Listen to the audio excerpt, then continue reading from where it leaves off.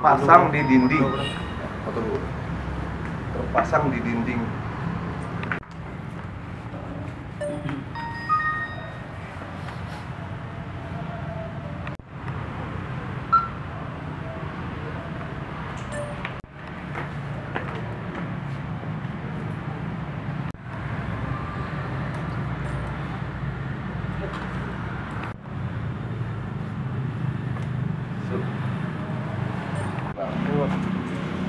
nada nada cahaya mandor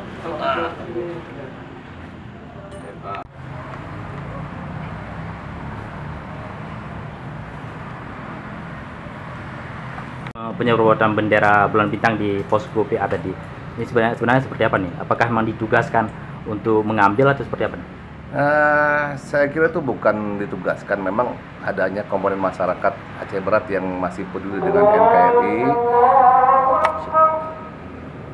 atau diamankan oleh Front Pembela Tanah Air atau PETA itu merupakan saya kira suatu gerakan dari masyarakat Aceh Barat yang masih setia dan kepada NKRI yang menyatakan bahwa bendera itu belum diakui oleh pemerintah NKRI sebagai bendera daerah Aceh.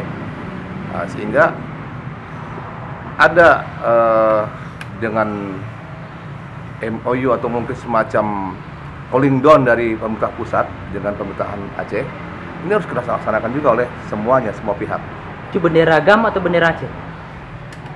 itu bendera bulan bintang, bukan bendera partai Aceh.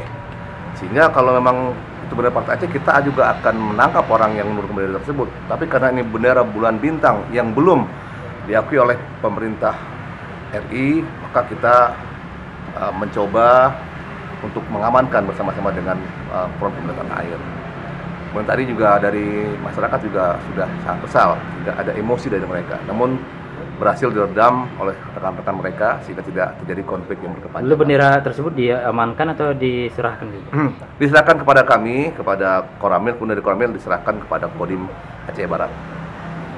Ya, terkait dengan instruksi Presiden dalam pengamanan pemilu ini. Ya. Apa saja yang dilakukan oleh Kodim Aceh Barat?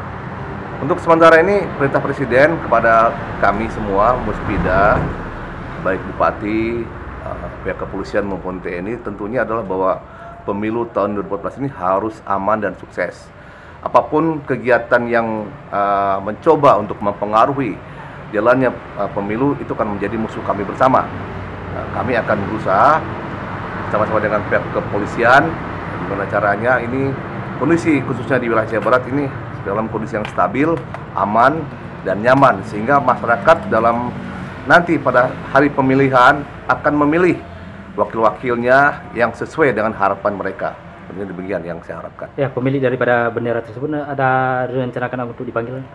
Rencana nanti rencananya dari pihak Koramil kota akan uh, meminta uh, keterangan dari yang bersangkutan tentunya tentang uh, kenapa dipasang tersebut karena memang kita dari awal sudah menghimbau kepada masyarakat agar jangan dulu me, apa namanya menggunakan atau mengibarkan bendera tersebut khususnya di wilayah Aceh Barat sampai dengan ada keputusan yang pasti dari hasil pertemuan antara pemerintah RI dengan uh, pemerintah Aceh apa Provinsi Aceh tentunya baru kita laksanakan apa yang menjadi keputusannya. Selama masih calling down, saya kira semuanya tidak boleh dikibarkan. Demikian.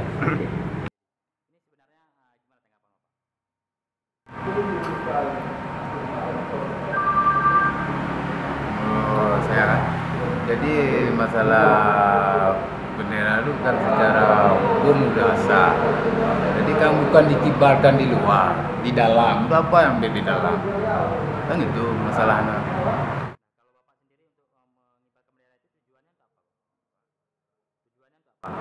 Sudah, supaya mengenang aja. Ah, bukan untuk mencari konflik. Kecuali dikibarkan di mana-mana. Itu ya. Karena belum diperintahkan kan. Ah, Jadi menghormatilah, kita jagalah perdamaian. Saling mengertilah koordinasi itu. Kenapa nggak panggil saya baik-baik? itu bendera bulan bintang yang dikibarkan di dalam posko apa itu sebagai bentuk kenang bendera GAM atau mengenang sebagai bendera Aceh. Mengenang sebagai bendera Aceh.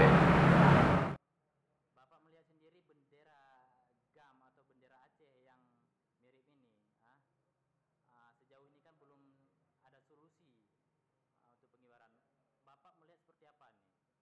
Kalau masalah saya kurang tahu juga. Cuma sesuai yang di hasil DPRA kan lagi nah kan udah ditekel sama DPRA sama gubernur cuma karena kita masih pelindon itu sesuai dengan dulu cara bilang juga kan Berarti ini hanya sebagai kenang kenang-kenangan ya? kenangan bukan untuk dikibarkan kita tahu aturannya. Kita tetap menghargai kan gitu kan kita cari solusi yang terbaik lah. Jangan melahirkan konflik. Nah, semua tenang dalam apalagi sekarang dalam menghadapi pilkada damai tentram. Ah, tidak melanggar hak etika-etika. Kalau orangnya saya nggak tahu, cuma menurut keterangan yang kebetulan saya tadi nggak ada sini, menurut keterangan adik ini orang tuh ngaku disuruh pergi sama orang peta Bang Amir. Siapa bilang? Bang Amir. Ah, Bang Amir suruh ambil. Ya, dari komunikasi, jadi ah, saya bilang eh, cobalah baik-baik lah, jangan kayak gitu. Ya saya cek dulu